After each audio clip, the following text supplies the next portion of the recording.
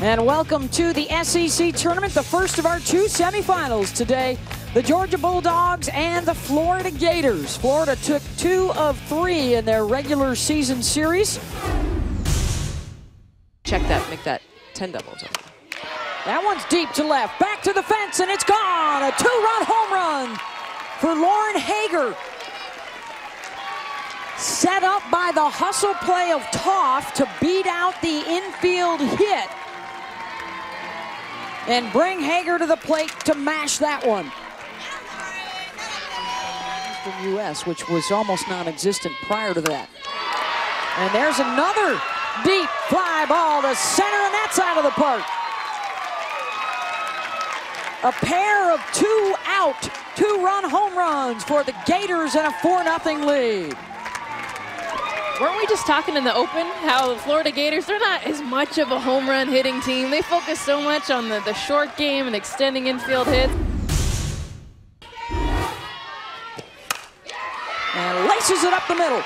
One run is in. They will wave around Merritt to score from second. The wild pitch becomes costly, and the clutch hit from Tofft, who's two for two. Bottom of the third here for Florida, and that's the third home run of the day, and it's the second of the morning for Taylor Schwarz.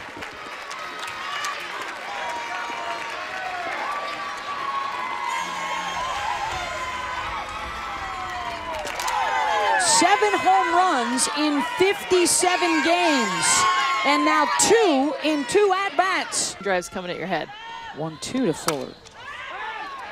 Trying to get that one to drop over the head of the shortstop, Wilson, who goes back on the grass to make a spectacular catch. Stop is able to come over and get that. And the RBI double for Kelsey Stewart. She's going to try and stretch it into three. The triple to score another run for Florida. 8-0 Gators. Beanie and mittens. and there's a base hit to bring in another Gator run. Kelsey Horton gets the RBI.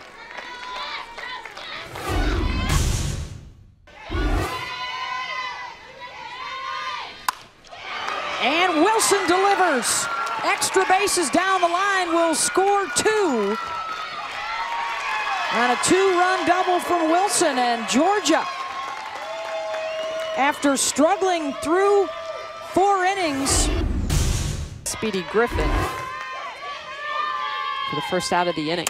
Wilson trying to sneak one through the right side and does, and a couple more will score for Georgia.